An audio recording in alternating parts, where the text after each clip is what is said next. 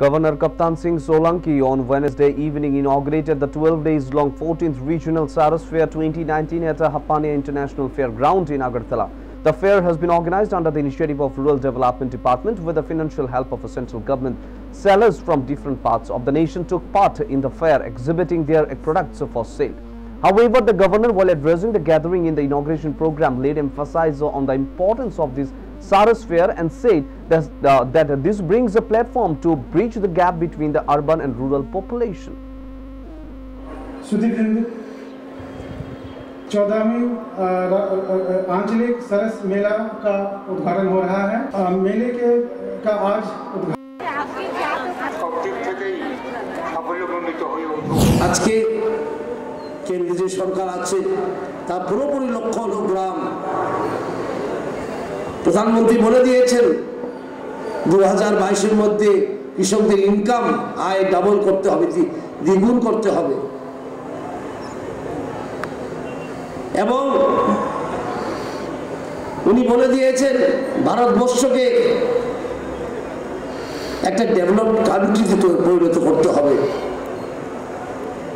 উনি যে মহামন্ত্র দিয়েছেন আমাদেরকে, সবকা সাথ, সবকা বিকাশ সেটা গ্রাম ছেড়ে হয় না, ভারতবর্ষে। ভারতবর্ষে প্রায় পঁচাত্তর শতাংশই গ্রাম আর সমাজের অর্ধেকাংশ মহিলা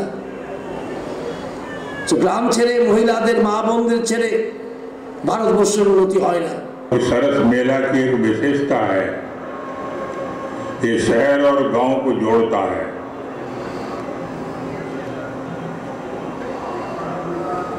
शहर के लोग जो इस मेले में आएँगे, इस मेले में पदार्पण करेंगे, वो इस बात को देखेंगे कि ग्रामों के अंदर भी किस तरह की चीज़ों का उत्पादन हो रहा है। ये चौदवा सरस मेला है।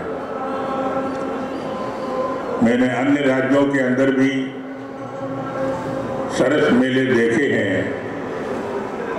और इससे एक ही बात प्रकट होती है कि जो महात्मा गांधी का सपना था, ग्राम स्वराज्य का, ग्राम स्वावलंबन का, वो इन सरस मेलों के माध्यम से पूरा होता हुआ दिखता है।